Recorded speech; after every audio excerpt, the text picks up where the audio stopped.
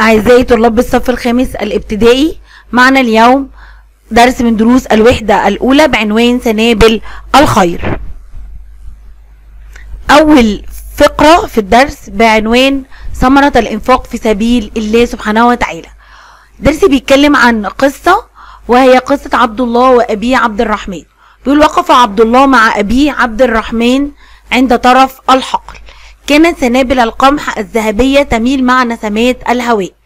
قال عبد الله ما شاء الله يا أبي القمح جميل وكثير والمحصول يبشر بالخير. يبقى عبد الله وقف مع أبيه؟ مع أبيه عبد الرحمن عند طرف الحقل. عند طرف الحقل. وكانوا زارعين إيه؟ كانوا زارعين قمح. سنابل القمح آه. الذهبية كانت تميل مع نسمات الهواء. يبقى سنابل القمح الذهبية كانت تميل مع نسمات الهواء. فقال عبد الله إيه بقى؟ ما شاء الله يا أبي. ها؟ القمح جميل وكثير والمحصول يبشر بالخير. آه يبقى القمح اللي هم زارعينه كان جميل وكتير وبيبشر بالإيه؟ بالخير. طب تعالى كده نشوف إيه ال- المحصول الجميل والكثير ده كان نتيجة إيه. قال الأب الحمد لله هذا هذا نتيجة جهدنا وإخلاصنا في عملنا. يبقى يبقى نتيجة الجهد والإخلاص في العمل كان إيه؟ كانت نتيجته إن القمح كان جميل وكثير والمحصول يبشر بالإيه؟ بالخير. أي حاجة أنت بتتعب فيها وبتعملها بجد وبإخلاص بتكون النتيجة مرضية ليك وللي إيه ولغيرك وللي حواليك. يا ولدي وثمرة إنفاقنا في سبيل الله وعطفنا على الفقراء. يبقى الجهد والإخلاص وكمان الإيه؟ الإنفاق العطف على الفقراء بيبشر لنا بالخير و... وال- والإنفاق في سبيل إيه؟ في سبيل الله. يبقى أربع أسباب.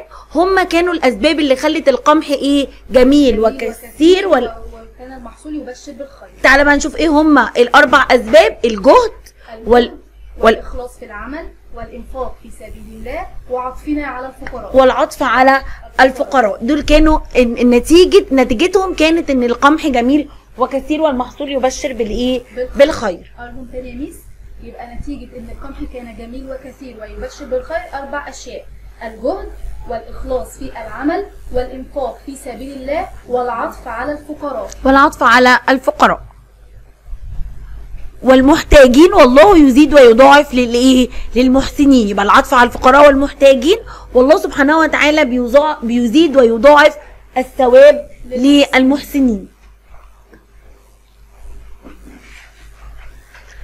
تعالى نقرا مع بعض الحديث الشريف عن انس بن مالك رضي الله عنه قال قال رسول الله صلى الله عليه وسلم ما من مسلم يغرس غرسا أو يزرع زرعا فيأكل منه طير أو إنسان أو بهيمة إلا كان له به إيه؟ صدقة. طب تعالى كده نقرا الحديث كمان مرة. عن أنس بن مالك رضي الله عنه قال قال رسول الله صلى الله عليه وسلم ما من مسلم يغرس غرسا أو يزرع زرعا فيأكل منه طير أو إنسان أو بهيمة إلا كان له به صدقة. طب تعالى نشوف مع بعض شرح الحديث اللي قريناه سوا.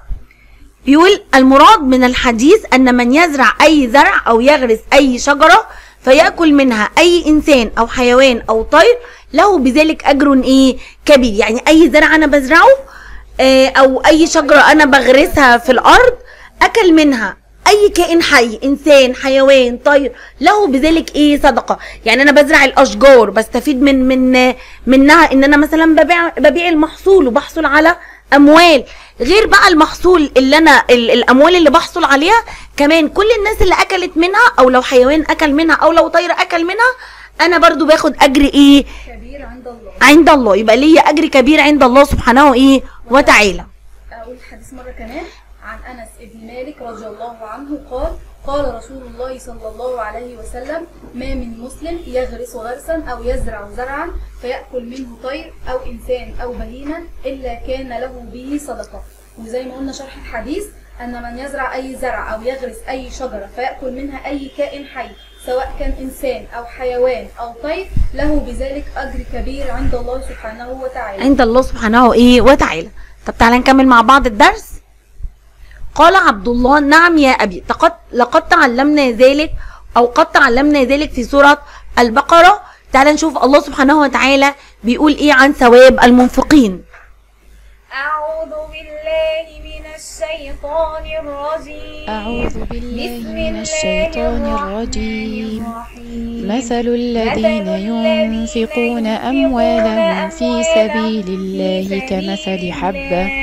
كمثل حبة أنبتت سبع سنابل في كل سنبلة مئة حبة. والله يضاعف لمن يشاء. والله واسع عليم. الذين ينفقون أموالهم في. سبيل الله. ثم لا يتبعون ما أنفقوا منا ولا أذى. لهم أجرهم عند ربهم ولا خوف عليهم ولا هم يحزنون. قول معروف ومغفرة خير من صدقة يتبعها أذى. والله غني. حليم. قول معروف ومغفرة خير من صدقة. خير من صدقة يتبعها أذى. والله غني حليم. صدق الله العظيم. أحسنتي. سورة البقرة معانا الآيات كانت من 261 ل 263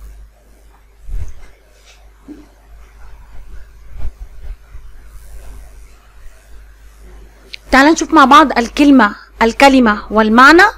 كلمة مثل معناها؟ صفة وحال. كلمة ينفقون. يبذلون ويعطون. في سبيل الله.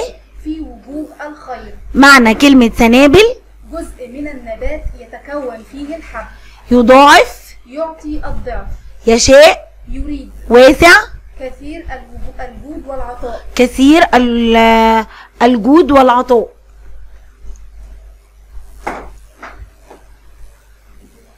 من الشيطان الله العظيم. أحسنتي. سورة البقرة معانا الآيات كانت من 261 ل 263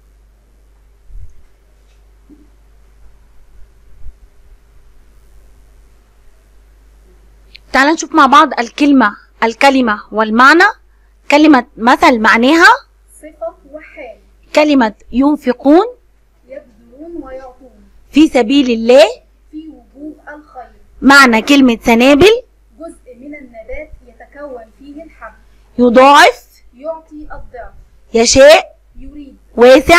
كثير الجود والعطاء. كثير ال- الجود والعطاء.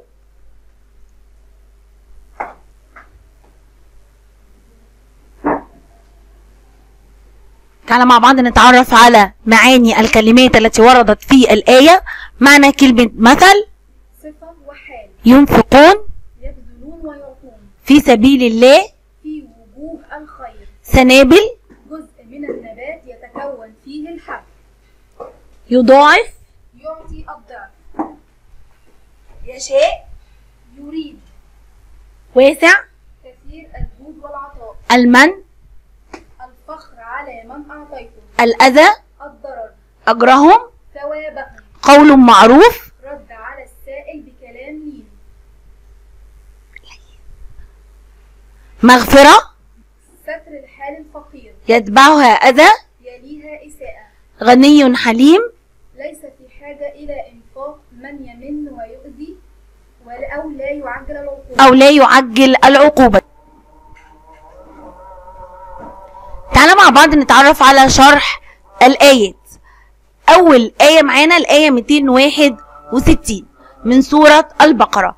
بيقول شبه الله الذين ينفقون أموالهم في طاعة الله بحبة القمح التي يتم غرسها في الأرض فتخرج لنا السنابل التي تتشعب إلى سبع شعب لكل واحدة سنبلة. وفي كل سنبلة مئة حبة. والله يضاعف الأجر للذين يتصدقون بأموالهم تقربا إليه فهو عليم بمن يستحقه مطلع على نيات عباده يبقى ربنا سبحانه وتعالى شبه الذين ينفقون أموالهم في سبيل الله بحبة القمح. طيب. بحبة القمح. حبة القمح اللي غرسناها في الأرض طلعت لنا قد إيه؟ طلعت لنا سبع سبع سنابل. في كل سنبلة مئة إيه؟ حبة. والله يضاعف. الأموال لمن يستحق هذا الايه هذا هذه المضاعفة. والله سبحانه وتعالى مطلع على نيات عباده. يعني من أخرج الصدقة بنية التقرب إلى الله سبحانه وتعالى وبنية مساعدة الفقراء والمحتاجين وليس وليس بنية الفقر أو العطاء أو أو التظاهر أو التفاخر. ربنا سبحانه وتعالى بي بيعطيه ويض- بيضاعف له هذا الأجر وبيعطيه من الأموال آه، آه، الضعف. يبقى في الآية الأولى الله الذين ينفقون أموالهم بحبة القمح التي نغرسها في الأرض فتخرج لنا السنابل وفي كل سنبلة مئة حبة. والله يضاعف الأجر للذين يصدقون بأموالهم تقربا إليه. فهو سبحانه عليم بمن يستحقه ومطلع على نيات عباده.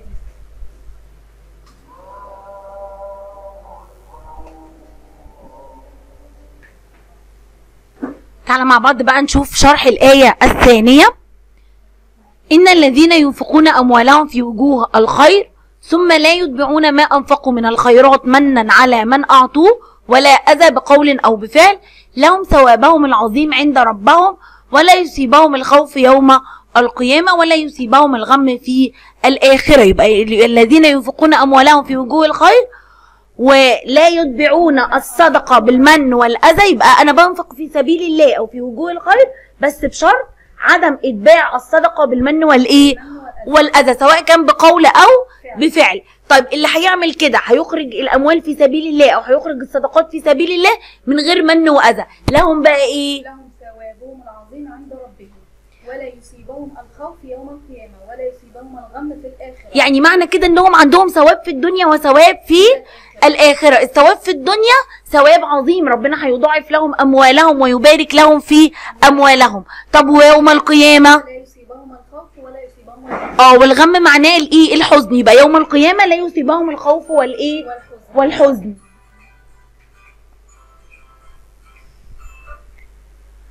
طب تعالى كده نكمل مع بعض شرح باقي الآيات. يبقى تاني في الآية الثانية أن الذين ينفقون أموالهم في الخير ولا يتبعون ما أنفقوا منا أو أذى بالقول أو بالفعل. لهم الثواب العظيم في الدنيا وفي الآخرة لا يصيبهم الخوف أو الغم. آخر آية معانا في الآيات. آه كلام لين وعفو عما بدر من السائل من إلحاح في السؤال. خير من صدقة يليها إساءة وأذى. من المتصدق ولا يعجل الله عقاب المنان لعله يتوب. يبقى ربنا سبحانه وتعالى آه، آه، ممكن إذا كان ليس لك آه، من الأموال ما تعطيها للسائل ممكن أن تقول له كلمة إيه؟ طيبة. وإنك تعفو عن إلحاحه ساعات السائل بيكون ملح في السؤال يطلب الشيء مرة واثنين وثلاثة أنت تكون إيه؟ تكون لين وتعفو عن هذا الإلحاح وتكون لين في الكلام إيه؟ معه. يبقى إذا كان لم يكن معك ما تعطيه للسائل هتعمل إيه؟ يكون بالكلمة الطيبة. يكون بالكلمة الإيه. الكلام الطيب والكلام اللين معه. وربنا سبحانه وتعالى الإنسان الذي يمن آه، ويتفاخر بالعطاء ربنا سبحانه وتعالى لا يعجل له العقاب. ليه؟ لعله إيه؟ يتوب. لعله يتوب إلى الله سبحانه وتعالى ويرجع عن إيه؟ هذا الفعل إيه؟ السيء وهو المن على آه السائل. الكلام اللين أو الكلمة الطيبة عما بدر من السائل من إلحاح في السؤال خير من الصدقة يليها إساءة أو أذى من المتصدق. ولا يعجل الله عقاب المنان لعله يتوب. لعله يتوب ويرجع إلى الله سبحانه وتعالى.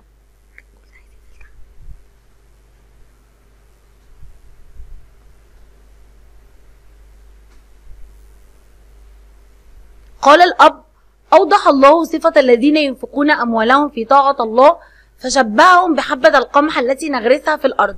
فتخرج لنا الإيه؟ السنابل. يبقى يبقى إحنا قلنا إن ربنا سبحانه وتعالى آه، شبه الذين ينفقون أموالهم في طاعة الله. قلنا شبههم بإيه؟ بحبة القمح التي نغرسها في الأرض فتخرج لنا السنابل. عبد الله بقى كان بيتساءل بيقول له إيه؟ ولكن الحبة يا أبي لا تنبت لا تنبت سبع سنابل. والسنبلة لا تعطي مئة حبة. يعني ده إيه؟ ده مش مش أمر طبيعي إن ال إن ال- الحبة تخرج سبع سنابل والسنبلة ما يكونش فيها 100 إيه؟ حبة. يعني ده كتير. تعالى بقى نشوف رب الأب أوضح له ده بإيه.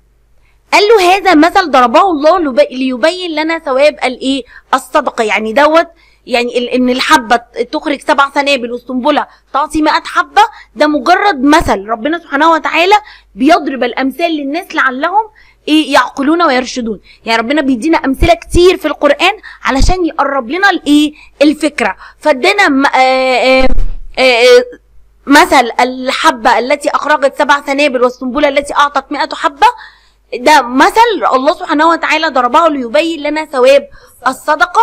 فإذا صد- تصدقت إيه بجنيه؟ يمكن أن يصبح 700 جنيه أو إيه؟ أو أكتر عند الله. ولكن بشرط اللي إحنا قلناهم قبل كده وهنعرفهم تاني اللي هو إيه؟ عدم الاذى عدم إتباع الصدقة بالمن والايه والأذى.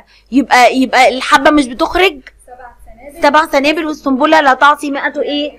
ولكن هذا هذا مثل ضربه الله ليبين لنا ثواب الصدقه فإذا تصدقنا بجنيه ممكن أن يمكن أن يصبح 700 جنيه أو أكثر عند الله ولكن بشروط وهي عدم اتباع الصدقة بالمن أو الأذى.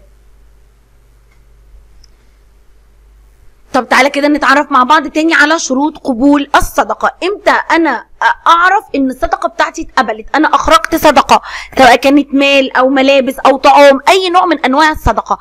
ليه شروط لقبول الصدقة؟ آه آه طبعا في شروط لقبول الصدقة. إيه هي بقى الشروط؟ أن يكون إنفاقك لوجه الله لا لنفخر به. فلا- تمن على من أعطيته ولا تؤذيه بقول أو فعل. أو فعل. يبقى يكون إنفاقك لوجه الله بتبتغي من هذا الإنفاق. وجه الله سبحانه وتعالى. ولا بقى إيه نتبع هذه الصدقة. تمن على من أعطيناه بالقول أو بالفعل. بالقول أو بالفعل. ولا يتبع هذه الصدقة المن والإيه والأذى. طب إيه هو أجر المتصدق في الدنيا والآخرة؟ وعد الله المحسنين الذين ينفقون أموالهم في سبيل الله قلنا بالثواب العظيم والمغفرة والسعادة في الدنيا والإيه والآخرة. قلنا الثواب العظيم إن ربنا هيضاعف لهم أموالهم ويبارك لهم إيه؟ اموالا أم... على في أموالهم. يبقى ربنا هيضاعف لهم أموالهم ويبارك لهم فيها. والمغفرة والسعادة في الدنيا والآخرة. لما اتكلمنا عن الآخرة قلنا إن لا يصيبهم الغم والإيه؟ والخوف يوم القيامة. يبقى أجر المتصدق أن الله وعد المحسنين الذين ينفقون أموالهم في سبيل الله بالثواب العظيم والمغفرة والسعادة في الدنيا والآخرة.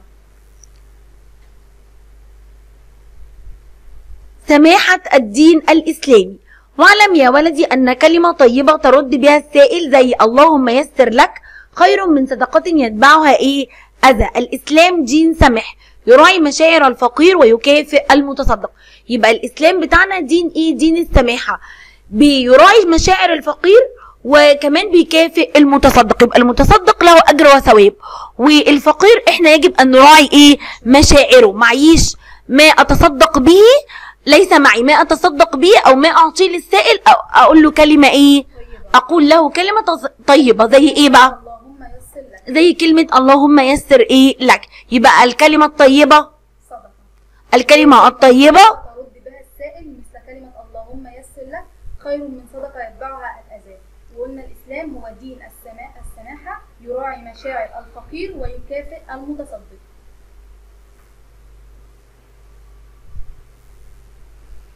تعال نشوف بعض الأسئلة المهمة التي وردت بالدرس. يبقى ما ثمرة الإنفاق في سبيل الله؟ الثواب العظيم والمغفرة والسعادة في الدنيا والآخرة. كمان مرة ما ثمرة الإنفاق في سبيل الله الثواب العظيم والمغفرة والسعادة في الدنيا والآخرة ما المثل الذي ضربه الله لثواب المتصدق؟ حبة القمح التي تتشعب إلى سبع, سبع شعب لكل واحدة سنبلة. في كل سنبلة مئة حبة. ما الغرض من تشبيه الله سبحانه وتعالى المتصدقين بهذا المثل؟ ليبين الله سبحانه وتعالى ثواب الصدقة. فإذا تصدقت بجنيه يمكن أن يصبح 700 جنيه أو أكثر عند الله سبحانه وتعالى. ما جزاء الصدقة التي يتبعها صاحبها بالمن والأذى؟ لا يقبلها الله سبحانه وتعالى. ماذا نتعلم من الدرس؟ قيمة العمل والاجتهاد وجزاء الصدقة. يبقى إحنا اتعلمنا من الدرس بتاعنا اللي اتكلمنا فيه عن ثمرة الإنفاق في سبيل الله وقلنا إن ربنا سبحانه وتعالى بيعطي المتصدق أجر كبير في الدنيا والآخرة ويراعي مشاعر الفقير بس بشرط عدم إتباع الصدقة بالمن والأذى سواء كان بقول أو بفعل. آه، اتعلمنا جزاء الصدقة وتعلمنا قيمة العمل والإيه؟ والاجتهاد. قلنا لما هم تعبوا وأخلصوا في عملهم واجتهدوا في عملهم والمحصول يبشر بالخير.